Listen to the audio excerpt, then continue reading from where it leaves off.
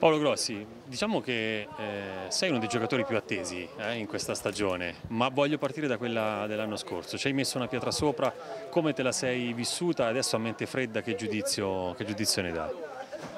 Ma come ogni anno ci metti una pietra sopra sul, sull'anno precedente perché comunque bisogna sempre guardare avanti. Sicuramente mi è dispiaciuto per come sono andate le cose.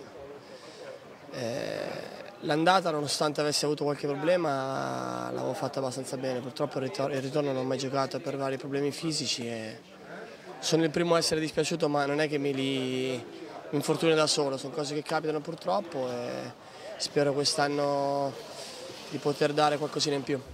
Eh, dal punto di vista tattico si preannuncia anche qualche novità, no? anche per quanto ti riguarda. Mister ti ha provato nella posizione di trequartista, adesso poi vedremo se ci insisterà o se proverà anche qualcosa di diverso. La tua posizione più congeniale, anche alla luce de delle partite dell'anno scorso, qual è in questo momento? Sì, abbiamo fatto due chiacchiere col mister, il mister eh, sembra prediliga questo, questo rombo eh, facendomi giocare trequartista è dove praticamente io sono nato. Eh, io sono sempre a disposizione del mister, è normale che lì mi piace giocare e se giochiamo questo, con questo modulo penso mi proverà soprattutto lì.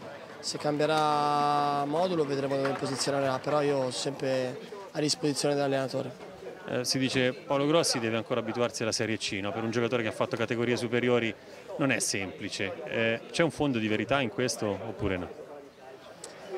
Mm, magari un pizzico di verità c'è sicuramente, però non, sicuramente io non penso di essere sprecato in questa categoria, evidentemente se sono, se sono qui è perché in questo momento mi merito la Rezzo e sono felice di essere qui, quindi non penso al mio passato, io penso al mio presente e al mio immediato futuro e darò il massimo per la Rezzo. Ho chiesto anche a Davide Moscardello, chiedo anche a te, sei un giocatore di esperienza, come hai vissuto questo periodo estivo che per l'Arezzo è stato un po' tribolato, no? con qualche incertezza in più rispetto al previsto?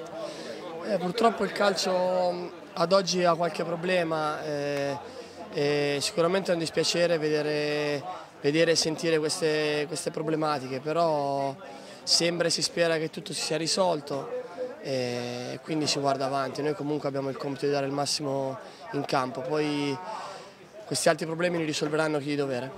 Eh, obiettivo tuo personale di squadra, quale possiamo dire che sia adesso in data 20 luglio, metà di luglio insomma?